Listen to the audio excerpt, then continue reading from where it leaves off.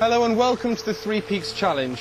We're beginning here in Scotland, where we're going to begin by climbing Ben Nevis, which is 1,344 metres up to the summit. That makes it the largest mountain in the UK. We'll then be moving on to Scafell Pike and also onto Mount Snowdon in Wales. I'm here with four teammates, so let's meet them.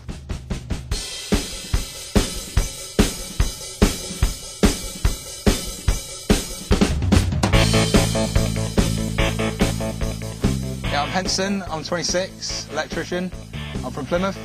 Um, I never really realised how big Ben Nevis was when the idea came along to do this project. I thought, yeah, yeah, sounds good. And after taking a look at the hill, it is quite a beast. It should be a good experience.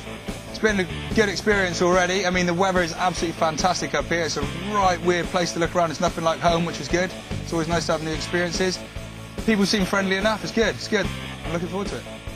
Hi, I'm Mike Mason. I'm a student from Falmouth. I'm 21. I've come to Scotland to climb Ben Nevis. I've not done this before, but been walking around places before, so I just up for the adventure really. I lead a kind of fairly active lifestyle, so my whole life's a sort of training almost. I BMX surf. Um, I'm doing a design degree, so kind of art design. I heard about the Three Peaks Challenge off a friend, and uh, it sounded like a bit of an intense activity. So again, it's another adventure, so I thought, why not try it? Hi, I'm Sarah. I'm 18 and I've just finished my A levels in uh, biology, geology, and geography. I'm really excited about climbing this mountain. Uh, I've just been to Africa recently. I love adventuring and I'm really up for getting up there and having a good time with all you lot. I have uh, made a, an attempt at it, but I was only about eight when I did it, so didn't really count. Hi, my name's John. Um, I'm 25 years old. I'm a barman from Kent, and uh, I'm here for the for the experience of well, the exercise really, I suppose. I love I love to walk. I love sports and football and surfing, and uh, this is something a bit different from the usual thing I do. So, I thought I'd give it a go. I'm a keen photographer too, so I'm looking forward to getting some great uh, great wildlife shots. As you can see, well, it's a beautiful day today, and hopefully will be tomorrow. So, should be some great light for some some great pictures. I'm feeling fairly confident about the, uh, about the trip up the mountain. Should be a laugh. Before myself and the team embark on the first part of our challenge, let's have a look around the local area and speak to some of the local people. Well, I mean, the Three Peaks Challenge was set up many years ago, and, and I believe it was the forces that did it originally. Um, they sort of took up the, the three highest sort of peaks, and they tried to do it in a 24 hour, and we're trying to get away from that nowadays because of just the logistics of doing it in 24 hours is, is nigh on impossible and, and quite dangerous, really. There really is only one path. I mean, we, we never advertised the, the back path, which is the, which is known as the Arete. Um, it's just a bit too dangerous. You really need a lot of sort of mountain climbing experience, especially in winter. It's ice axes, crampons, but even that you need to be experienced to go up there.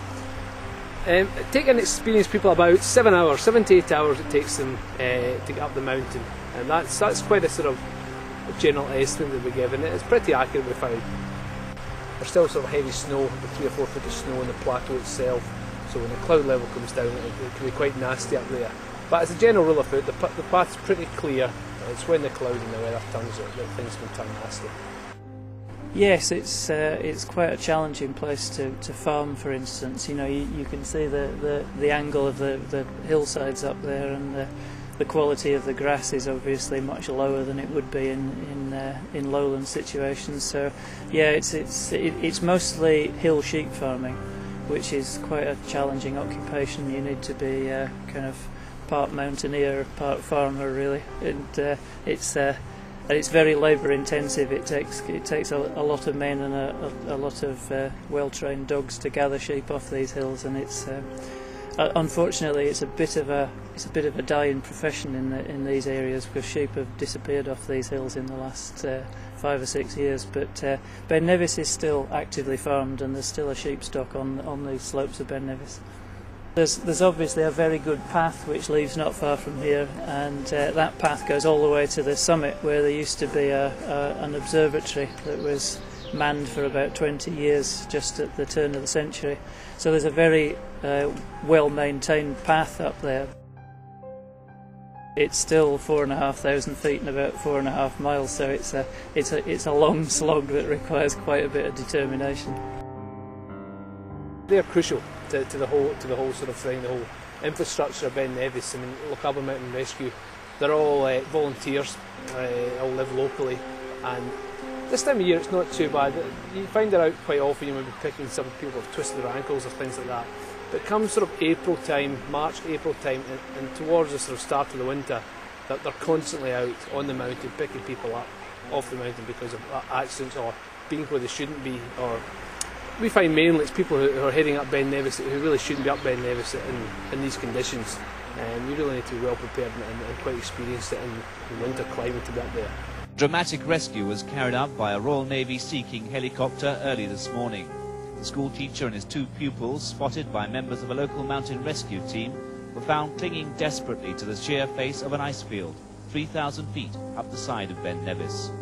They'd spent 25 hours in freezing conditions after losing their way in the notorious Five Finger Gully.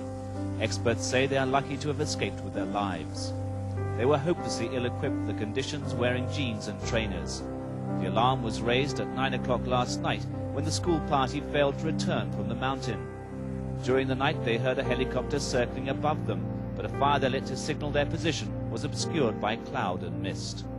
You're sitting here in the office sometimes, you hear that helicopter going, you know, it can be, can be two or three times a day sometimes on a Saturday, and it can be something five or six times a week. And you think if that costs, I don't know, 15, 20,000 pounds a time, for example, I don't know, but it's very, very expensive. And sadly, there is there is a, number of fatalities every year on Ben Nevis and the surrounding areas. And you know, these are the guys that have got to go and help these people. So um, they need all the support they can get. You've got to really know your own capabilities. That's the whole thing, and be aware of, of what you can do, and, and be ready to turn around. Don't don't feel embarrassed that you didn't make the summit or whatever. Just know when to turn around. You've got to get the weather right because it's so unpredictable up here. It's quite unbelievable. Today it's 23 degrees. Two days ago with snow, heavy snow and blizzards in the summit. So just shows you how quickly it can change. So we really need to sort of drum into people that they must know their own abilities before they head up the mountain and be realistic. That's what it's all about. You've got to be realistic because you only one shot at life, so you've got to, got to be very careful.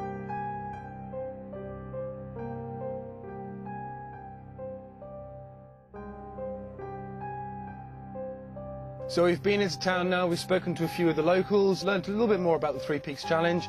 Now everyone's very enthused and excited to get going. Preparations are taking place for the big climb. We're leaving at 4 o'clock tomorrow morning.